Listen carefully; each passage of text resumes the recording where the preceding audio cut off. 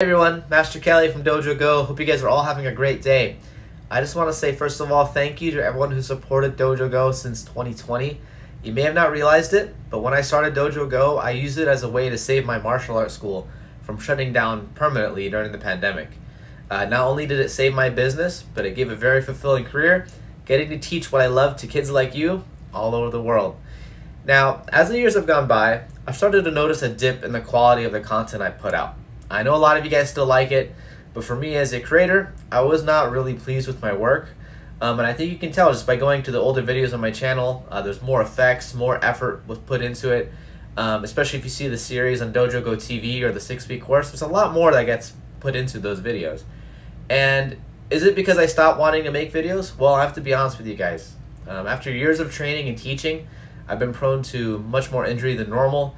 Uh, not only that, I've gone through a creative fatigue. So with all the videos I had and courses I have combined, um, I've exhausted pretty much every interesting way I can show you how to throw a roundhouse kick, right?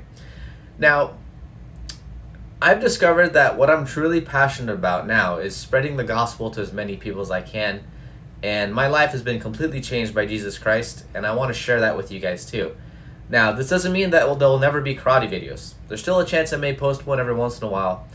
Uh, but my main focus on this channel is going to be showing you and teaching you God's love and mercy, right? And moving forward, most of my videos are going to be about that.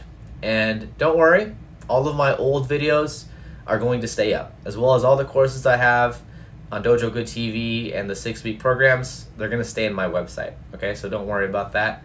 Um, and I encourage you, just as well as anyone watching, that if you're a little apprehensive about learning about God and those things, I would gently invite you to give them a chance. Uh, my goal is to make my videos entertaining, funny, and informative. So before you consider unsubscribing, watch the next video I put out first before before making a decision. Okay, and that's what I just recommend.